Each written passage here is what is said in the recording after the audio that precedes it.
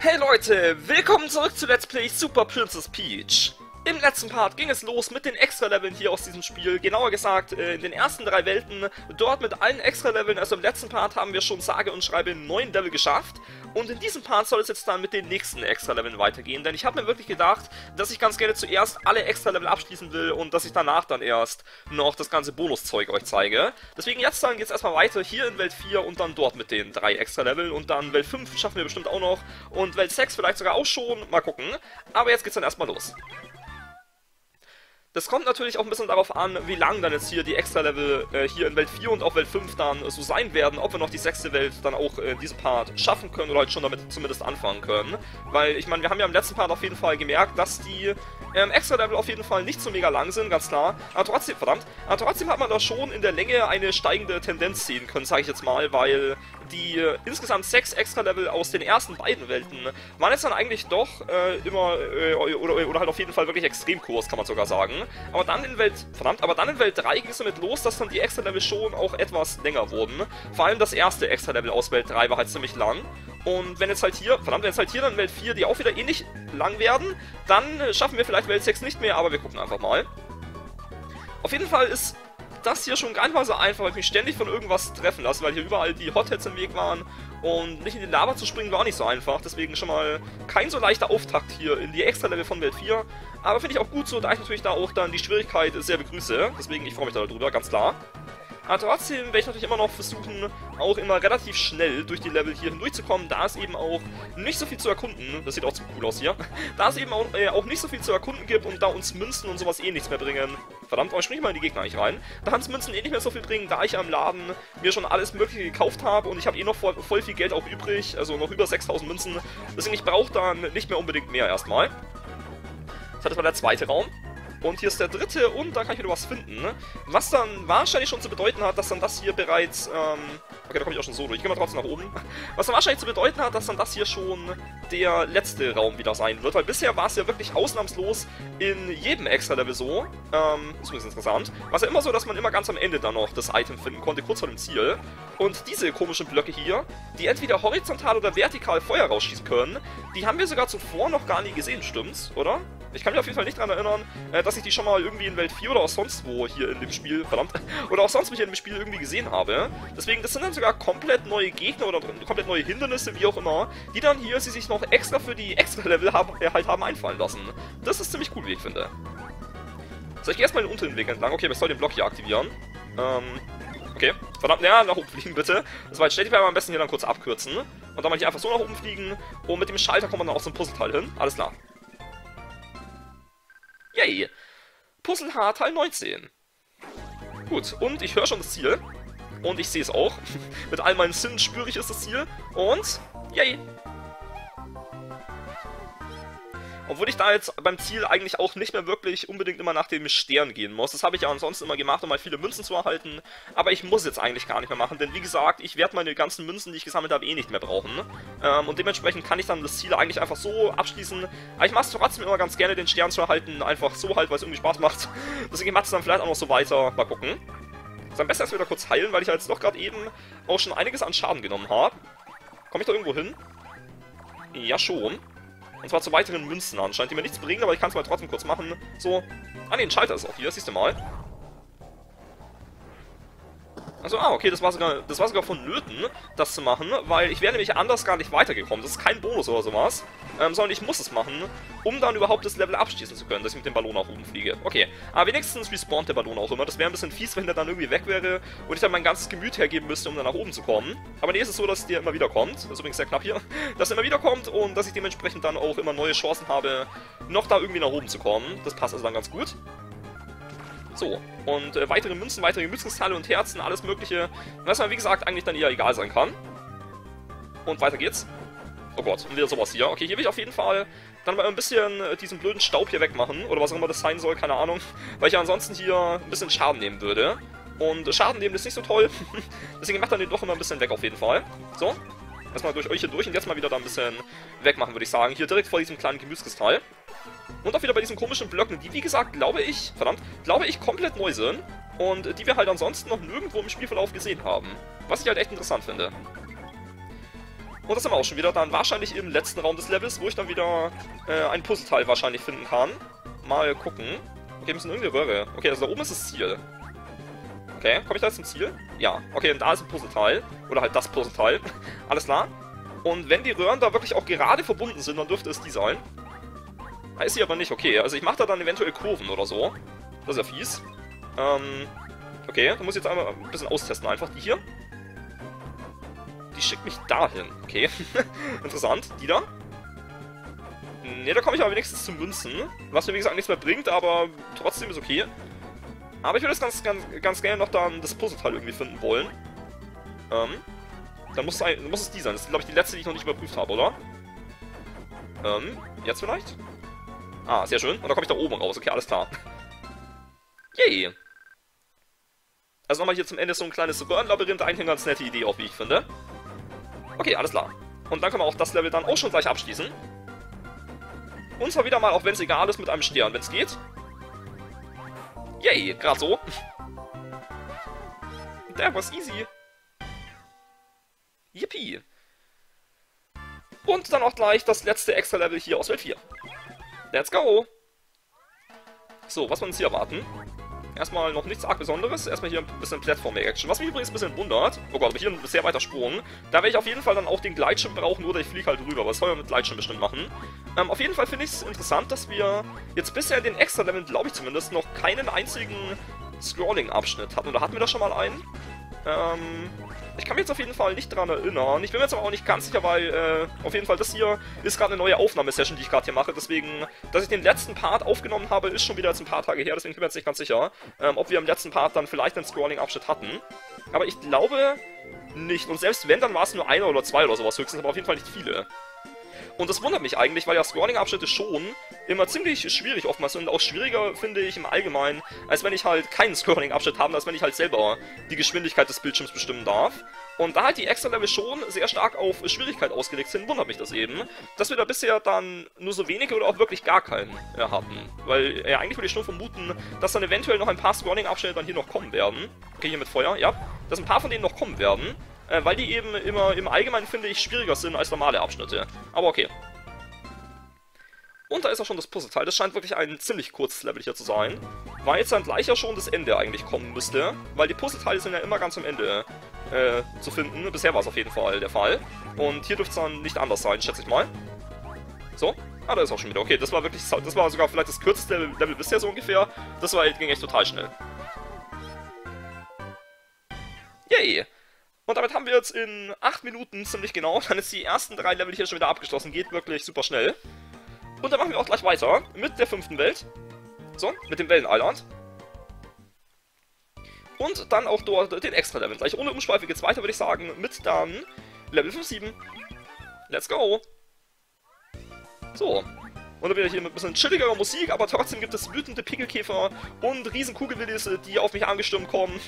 also obwohl die Musik äh, es hier einen ganz chillig macht, äh, ist auf jeden Fall so, dass durch die Gegner das nicht so wirklich chillig wirkt alles hier. Aber ich werde schon trotzdem irgendwie hier vorbeikommen. Wenigstens sind es keine wütenden Kugelwillis, die so ultra schnell sind. Aber denen kann man auch, wie ich finde, ganz, äh, halbwegs gut ausweichen, da man die eben noch rechtzeitig ganz gut erkennen kann. Was bei den Schnellen jetzt nicht unbedingt gilt. Okay, das wollte ich irgendwie oben entlang gehen. Ich werde sogar kurz gucken. Hui, wo ich da oben hinkommen kann. Äh, okay, irgendwie hier. Einfach so. Komme ich da jetzt noch hin? Äh, gerade so.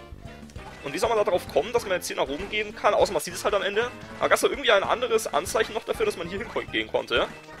Hm, keine Ahnung. Übrigens, meine Gemütsleiste ist eigentlich ziemlich leer, finde ich, aber ich darf meine Fähigkeiten noch einsetzen. Deswegen, ich habe anscheinend noch minimal Gemüt irgendwie, aber halt nur ganz, ganz wenig.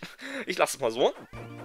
Okay, wir erstmal wieder dann hier einen Unterwasserabschnitt, alles klar wo ich dann auch mal wieder versuchen werde, äh, dann nicht die Gegner abzuschießen, sondern einfach ihnen auszuweichen. Da das ja wie gesagt mit dem Mikro ein bisschen blöd für mich in der Aufnahme ist, deswegen ich lasse da mal, außer ich muss machen wie da zum Beispiel. Hier ist aber nur Bonus, oder? Da rechts. Ähm, oder? Das ist jetzt die Frage, was dann jetzt hier Bonus ist und was nicht. Aber ich meine, wir, wir fahren oder wir schwimmen jetzt schon ziemlich lang hier diesen Weg hier. Okay, und da unten komme ich nur zu Münzen, wie wir sehen können, genau. Deswegen, ja, da nach oben zu gehen, ist dann definitiv der richtige Weg. Ähm, passt das alles. Hier sind auch wieder nur Münzen, die mir auch egal sind. Und bitte, gehst weg, bitte weg. Okay, nehme ich halt ein bisschen Schaden. Aber ich komme hauptsächlich hier durch, das ist das Wichtigste. So. Und dann gleich dürfte auch schon wieder enden. Genau. Okay. Und dann können wir hier auch schon was finden. Da oben schwebt Treibsand in der Luft. Alles klar. Und da darf ich wieder nicht nach oben fliegen, aber ich meine, ich habe eh kein Gemüt mehr. Ich muss euch dann wieder mal das äh, Trampolin nach unten holen.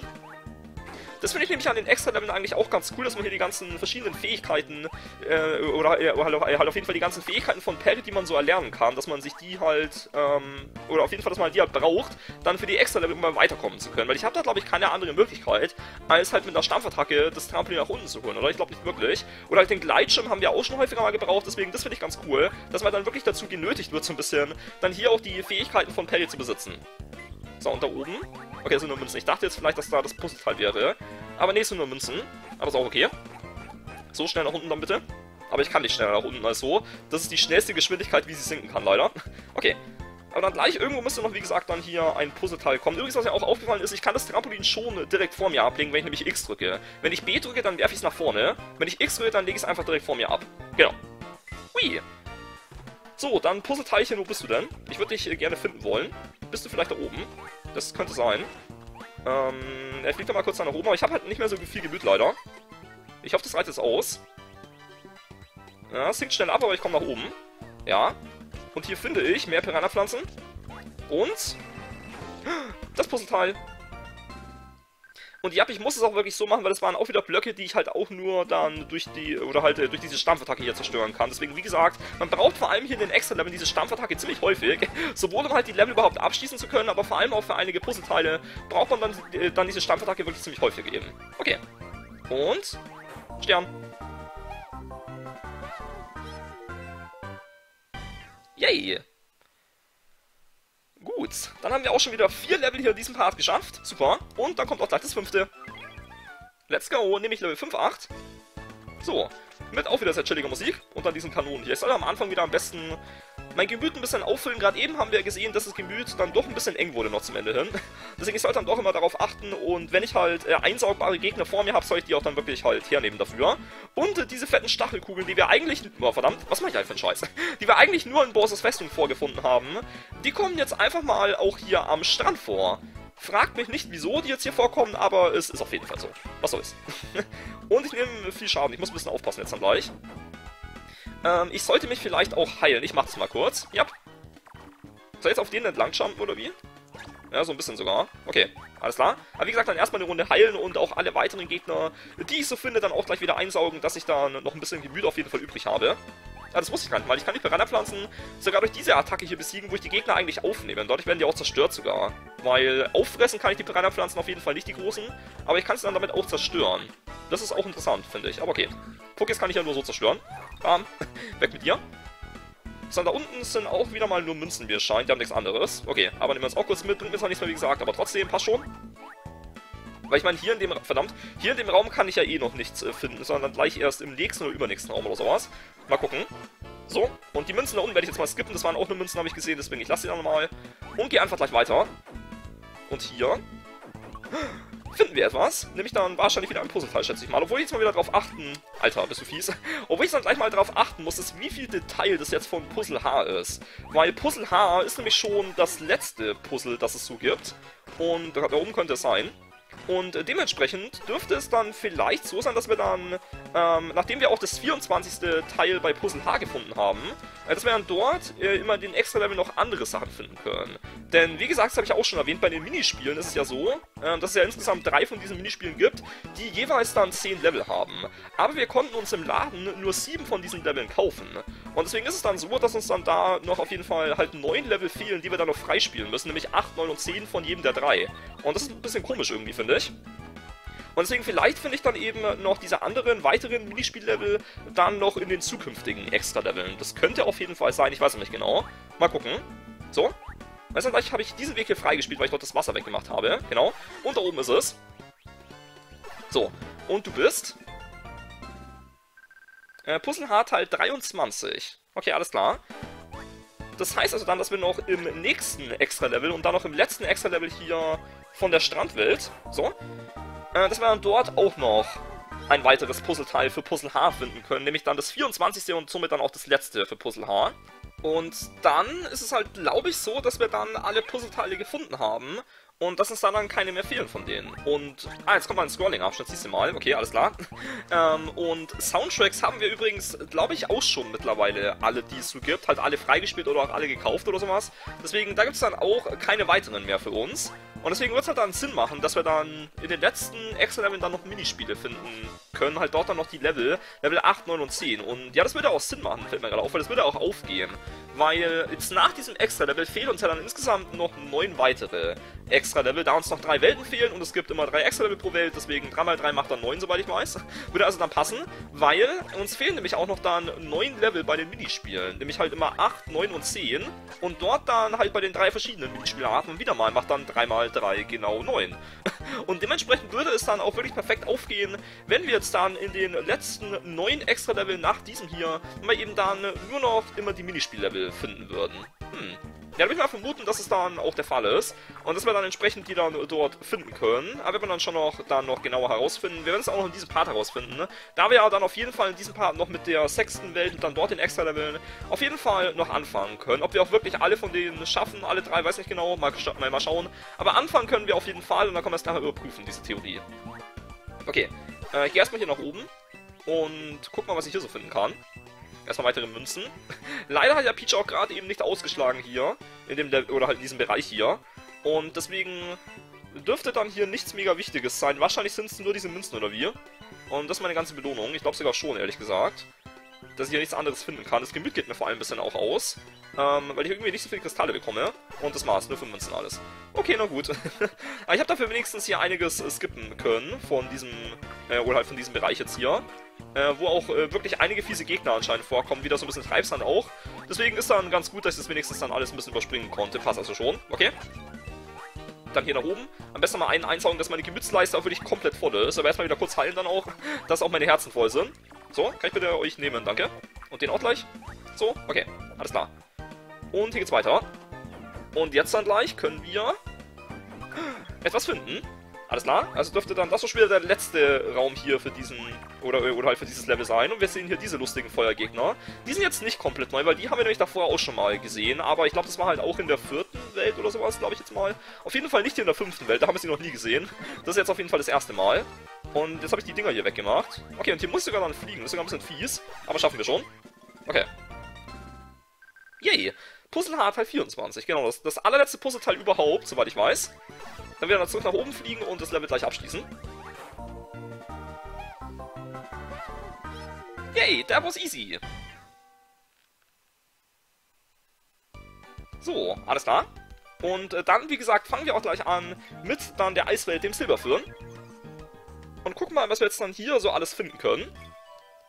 Denn wie gesagt, Puzzleteile dürfte es keine mehr geben. Und los geht's dann gleich mit Level 6, 7.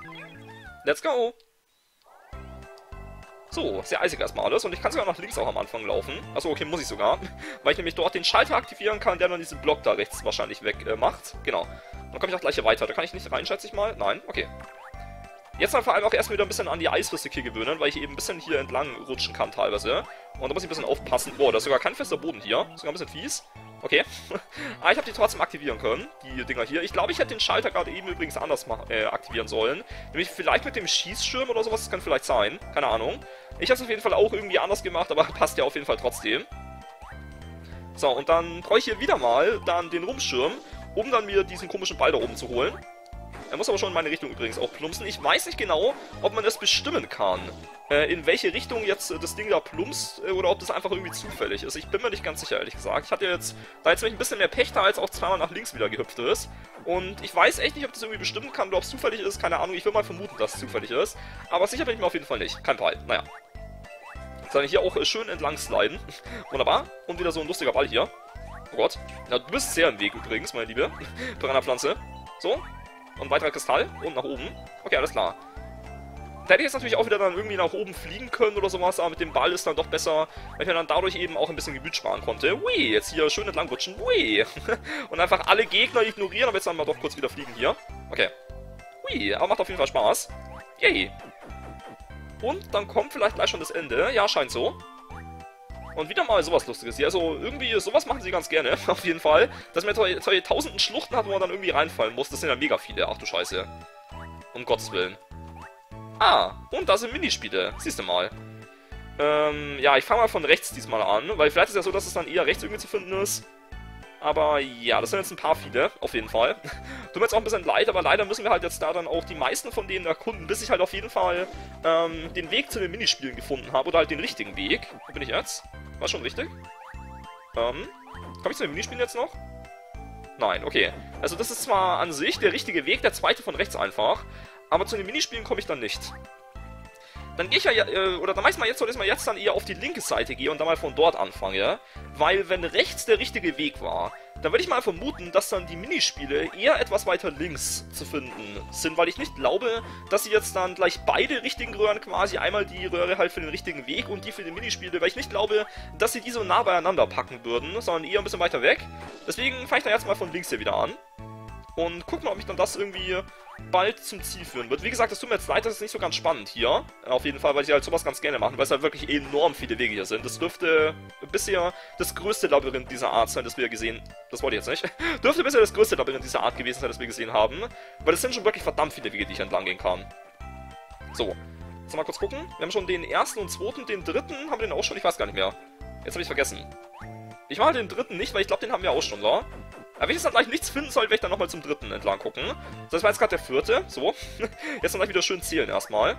Ähm, eins, zwei, drei, vier, fünf. So. Ist wie gesagt leider ein bisschen nervig, aber ich kann auch nichts dagegen machen. So, das war's auch nicht, nein. Okay. Dann ist dann gleich zum sechsten hingehen. Das ist nämlich, Moment, eins, zwei, drei, vier, fünf, sechs. Der hier. Und? Immer noch nicht.